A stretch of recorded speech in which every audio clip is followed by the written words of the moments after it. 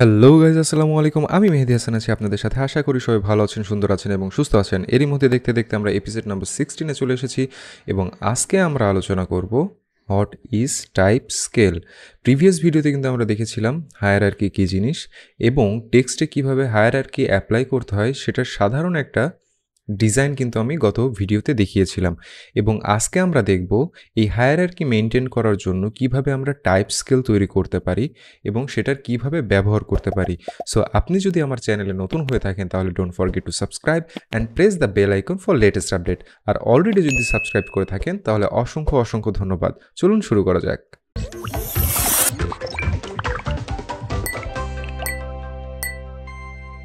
Welcome back so আপনি যদি আমার প্রিভিয়াস ভিডিওটি মিস করে থাকেন, তাহলে অবশ্যই হচ্ছে হায়ারার্কি সম্পর্কে যে ভিডিওটি আমি তৈরি করেছিলাম, সেই ভিডিওটি দেখে আসতে পারেন। এবং আজকে আমরা দেখব যে হায়ারার্কি মেনটেন করার জন্য কীভাবে আপনি টাইপ স্কেল তৈরি করতে পারেন সেটার জন্য বিভিন্ন টুলস আপনি ব্যবহার করতে পারেন, অথবা আমি যেভাবে ব্যবহার করি, আপনি চাইলে সেইভাবে ব্যবহার করতে পারেন। সো আপনার প্র্যাকটিস পারপাসে যে জিনিসটা আপনার জন্য স্যুট করবে, সেই জিনিসটাই আপনি ব্যবহার করবেন। সো প্রথমে চলুন জেনে নিই হোয়াট ইজ টাইপ স্কেল এখন টাইপ স্কেল কী জিনিস? সেটার হচ্ছে একটা ছোট্ট একটা সংজ্ঞা আছে, সেটা আমরা জেনে নিব।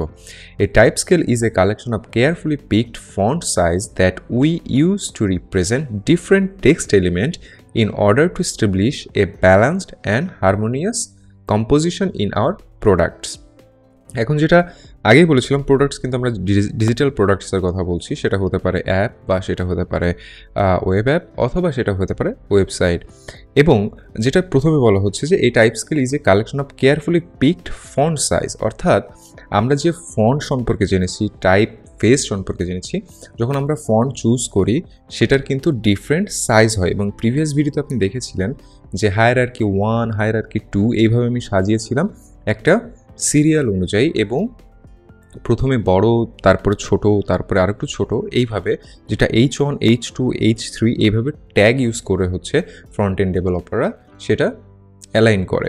সো সেম এজ আমরা যখন ডিজাইন শুরু করব, আমাদের প্রথমে যেটা করতে হবে, যে ফন্টটা আমরা চুজ করছি, সেই ফন্টটার সাইজ অনুযায়ী আমাদেরকে সাজাতে হবে।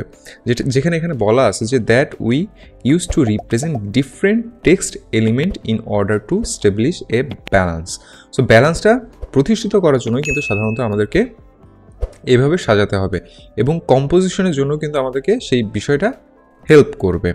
চলুন এখন দেখে নিই যে কীভাবে আমরা টাইপ ফেসটা ব্যবহার করব। আচ্ছা so how to pick a type scale এখন টাইপ স্কেল কী জিনিস বা কীভাবে আপনি পিক করবেন সেটা জানার আগে আমরা কিছু common type of text element কিন্তু আমরা এখানে দেখে নিতে পারি, যেটা কিন্তু সচরাচর আমাদের প্রতিনিয়ত ব্যবহার করতে হবে ডে টু ডে সো প্রথম যেটি দেখতে পাচ্ছি সেটা হচ্ছে title and headings then paragraph and list যেটাকে বডি টেক্সট বলা চলে caption subtitles block codes and pull codes তো এই ধরনের কিছু কমন এলিমেন্ট আছে। আর আপনারা কিন্তু অলরেডি জানেন যে টাইপোগ্রাফি কিন্তু হচ্ছে ভিজুয়াল এলিমেন্ট ওকে আর আমরা এখন আছি কোথায়?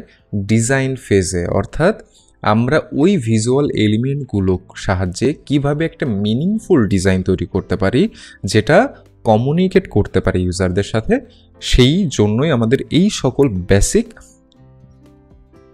প্রিন্সিপাল এবং সিস্টেমগুলো আমাদেরকে জানতে হবে।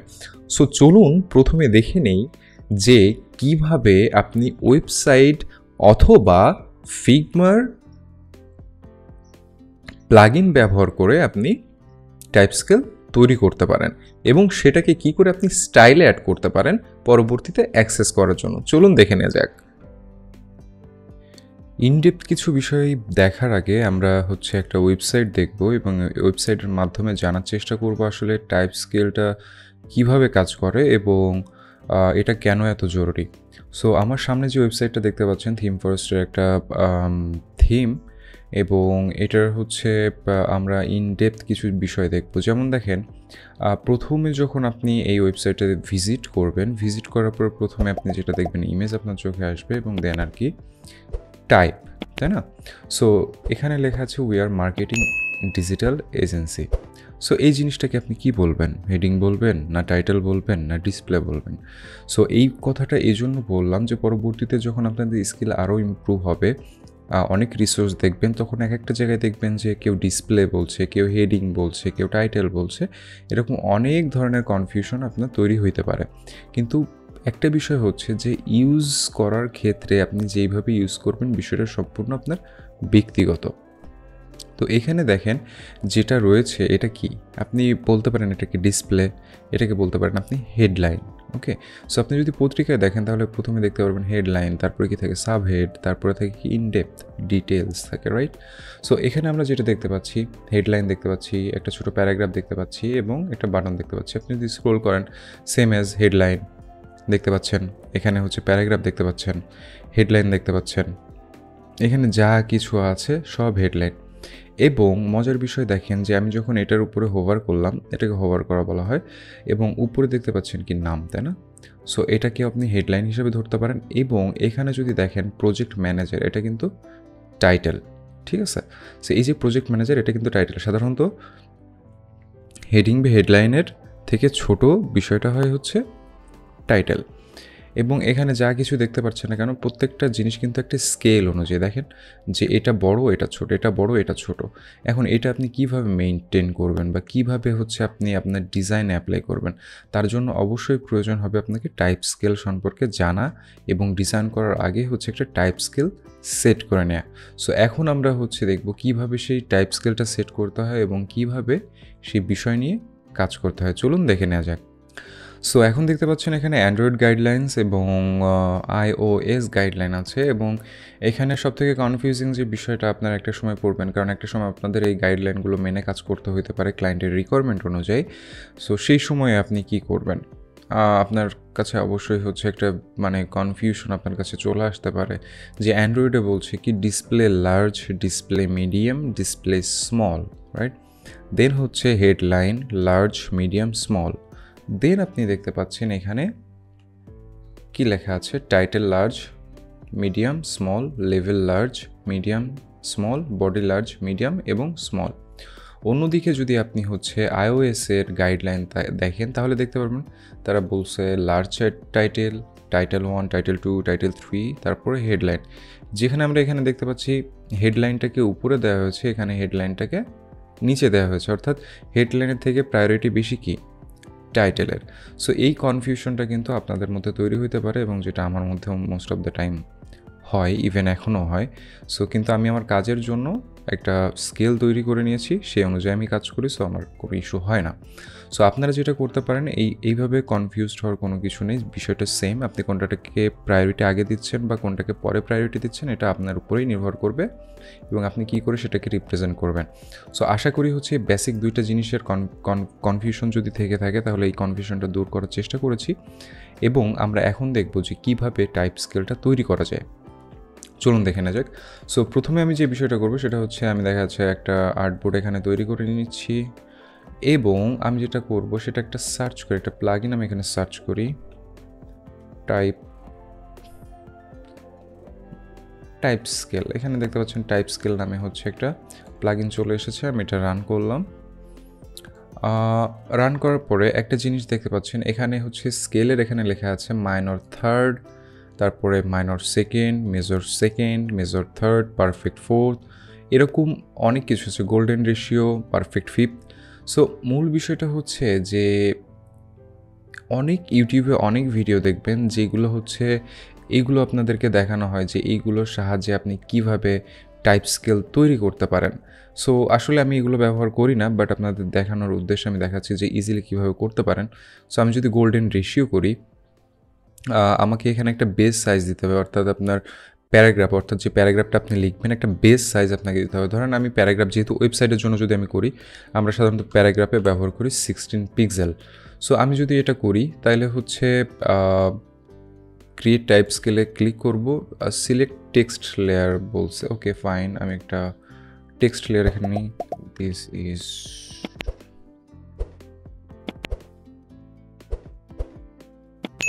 টাইপ স্কেল আচ্ছা টাইপ স্কেল আমি তৈরি করে নেওয়ার পরে আমি এটা সিলেক্ট করলাম, করার পরে হচ্ছে ক্লিক করার পরে দেখতে পাচ্ছেন যে এখানে অনেক অনেক বড় মানে লেখা এখানে চলে আসছে। এবং এখানে কয়টা যদি আছে, যদি খেয়াল করি, আমি একটু দেখি, এক, দুই, তিন, চার, পাঁচ, ছয়। ঠিক আছে, এখানে টোটাল ছয়টা আছে। এবং এত বড় হওয়ার কারণ কি? এই যে গোল্ডেন রেশিওটা তাই না? এটা ব্যবহার করলে এটা দেখতে পাচ্ছেন আটশো সাতাত্তর পিক্সেল এটা হচ্ছে বড় হয়ে গেছে, যেটা আপনার কোনো ওয়েবসাইটে কোনো দিন মানে পসিবল না।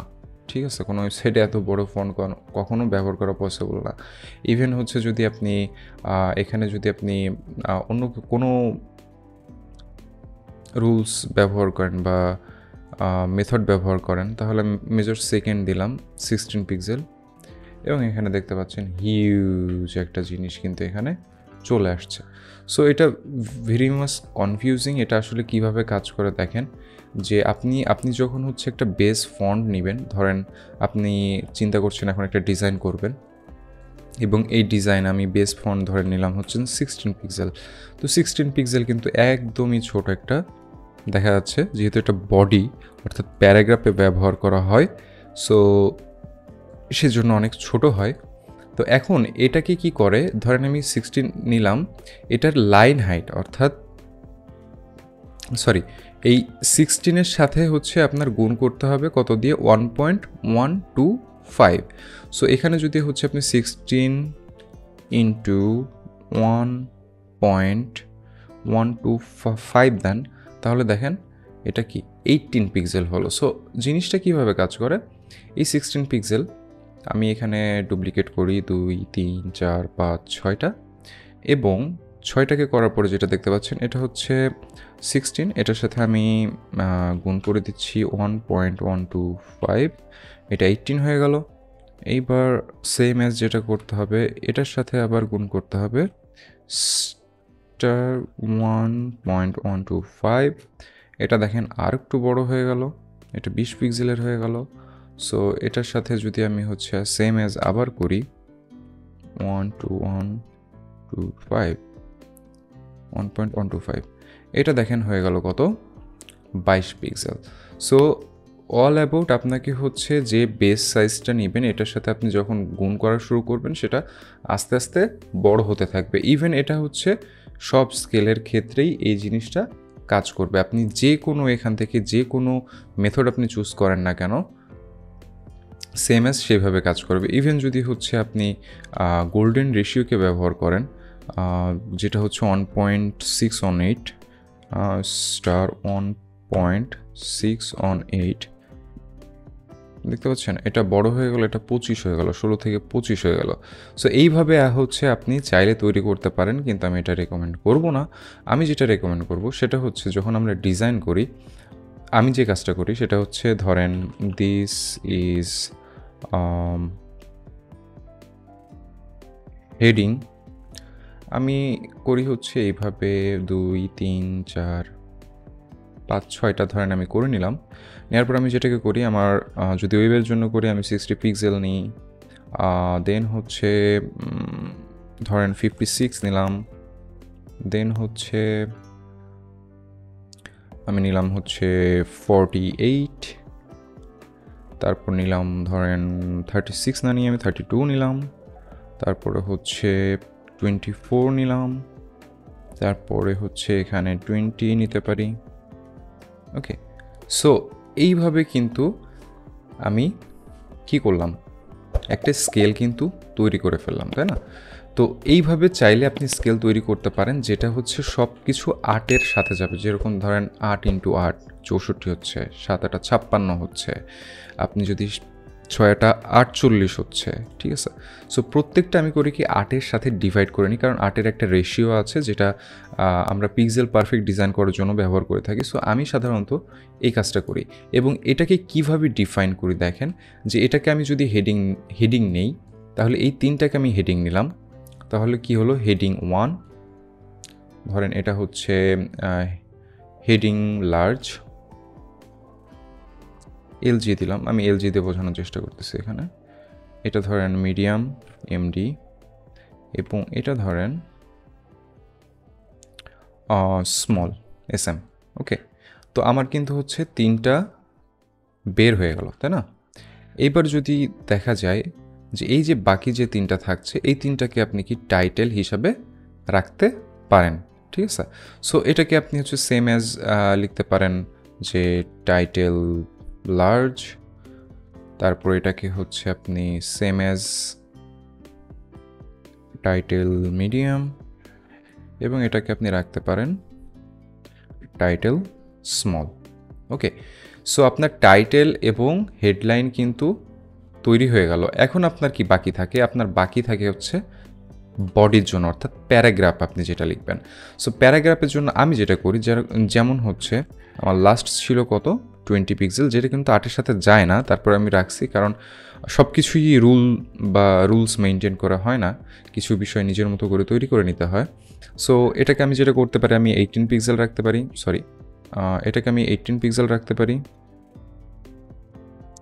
এইটিন পিক্সেল রাখতে পারি, এটাকে হচ্ছে আমি সিক্সটিন পিক্সেল রাখতে পারি, এবং একটাকে রাখতে পারি আমি হচ্ছে ফোরটিন পিক্সেল সো এতে করে কি হলো, এটা হচ্ছে আমার বডির জন্য হলো। সো আমি হচ্ছে চেঞ্জ টেক্সট করে নিচ্ছি একটা প্লাগিনস আছে। সো আমি সিম্পলি যেটা করব হচ্ছে এটা বডি লিখে দিলাম, দিলে আমার লেখাটা চেঞ্জ হয়ে গেল। সো সেম এজ আপনি এটাই করতে পারেন যে বডি লার্জ সাপোজ হচ্ছে এখানে আমি হচ্ছে বডি লার্জ দিলাম। আমি এখানে দিয়ে দিই হচ্ছে বডি মিডিয়াম এবং এখানে দিয়ে দিই হচ্ছে বডি স্মল তাহলে আমার বডির জন্য কিন্তু তিনটা টাইপ স্কেল তৈরি হয়ে গেল। এখন হচ্ছে আমি যেটা করব, বডির জন্য হলো সেম অ্যাজ এটা কি আপনি লেভেলের জন্য করতে পারেন। অর্থাৎ বাটন বা কোনো জায়গার লেভেলিংয়ের জন্য হচ্ছে আপনি সেম টাইপ অফ জিনিসটা ব্যবহার করতে পারেন। এইবার বাকি থাকে কি? ক্যাপশন ওকে সো ক্যাপশন হয় সব থেকে ছোট, ধরেন এখানে